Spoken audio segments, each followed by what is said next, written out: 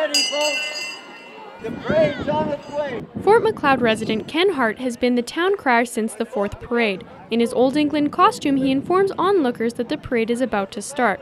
Hart says he wasn't even supposed to be in the event that year. I wasn't even going to be allowed in the parade because I wasn't registered. I said, I'm going down on the street and I'm going to tell all the people to get ready, the parade's coming. This was the 30th anniversary of the Fort Macleod Santa Claus Parade. The town puts on the largest Christmas parade west of Toronto.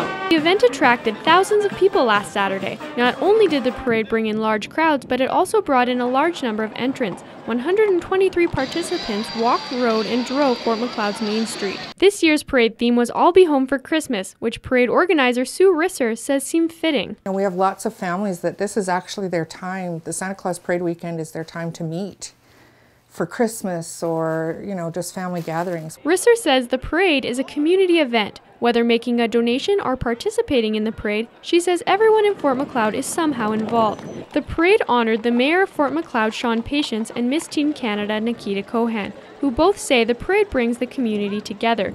And it really is a, a real community weekend, a, an opportunity to meet new friends and to reacquaint with old friends. Everybody's been so nice and very hospitable. We've had a great time. Of course, though, the most anticipated guest of honor was Santa Claus, whose identity is only known by few members of the parade committee. For his part, Hart says he looks forward to seeing returning faces. He enjoys taking the time to stop and talk to onlookers who have been attending the parade for years. He says he enjoys doing the event for now. Getting tougher and tougher.